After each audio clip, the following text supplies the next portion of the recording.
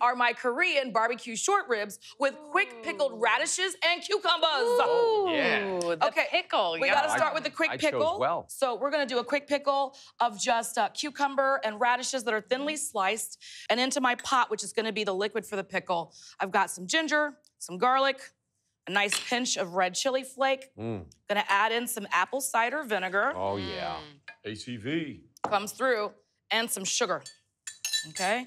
I like my pickles on the sweet side. Yeah, Yes. I- same I here. do. Uh, That's why I'm gonna add a pinch of salt. Okay, because it's gonna, it's just gonna really make that sweet stand out for you. So when it starts boiling, I'm kind of done with it. Just turn it off, uh, put the pickles all together with the radishes, cover it up, put it into the fridge, and then just you want it to cool down. You know, the longer this hangs out, obviously, the more of that flavor seeps into the vegetable. So in the fridge, they come out like this. And Katie, if you don't mind, you can just scoop them with a slotted spoon into the serving bowl for You later. got it. And then I'll get on to Korean the flavor. of the right there. All right, so here are the short ribs. Oh, Those are fatty. I'm not short about that. You all right? You all right, Jeff? Because I know this those is are- exciting Those for are you. big cuts, man. That's You're the meat man. So the flavor, very simple.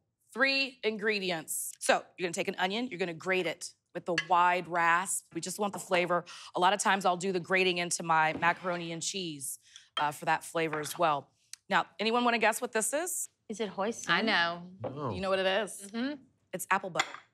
Apple butter. Which makes Apple sense because butter. you think of like a pear puree sometimes in Korean cooking. Yeah. There's so a lot of times in Korean cu- uh, cooking, there's a pear apple butter. puree. Yeah, pure puree, right? It's a really good sister to that.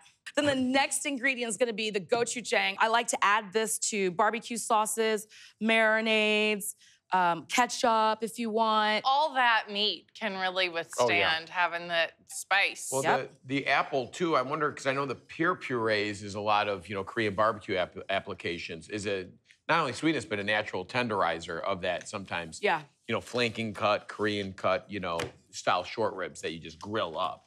And then I'm just gonna put a bit of this on. Okay, not all of it. Okay. Because some starts and then we finish with some. The oven is set at 275 degrees. Goodness gracious. Yeah.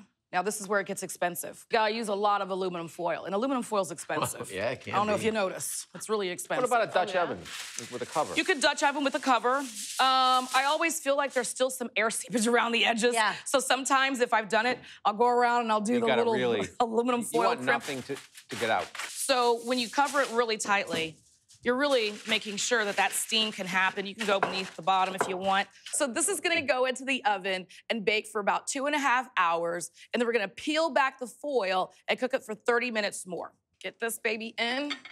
Now you know we are not gonna wait for two and a half hours. Yay! So I've got another one in here. Wow, one hand, one hand plan. Well, Wow. I'm, I'm a lefty. Look at so that. Have you been very lifting easy weights? wow. with the left Jeez. hand. All that gardening. Oh Wow. my I mean- papa. I've never seen this And method. I'd say a couple of couple of tablespoons. Oh, more sauce. I kind of Yeah. like this dry roast Yeah, method. yeah.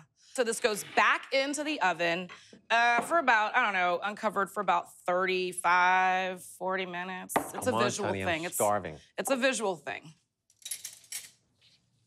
This.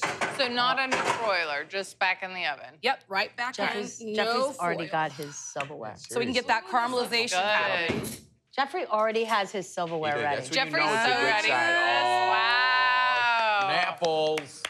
Yum. Look at that. I mean, really, is there Ooh, any was- better beef than braised short ribs? No. I, I don't think so. No. Done right. Oh, look at that Oh my mound. God. La. Mm-hmm.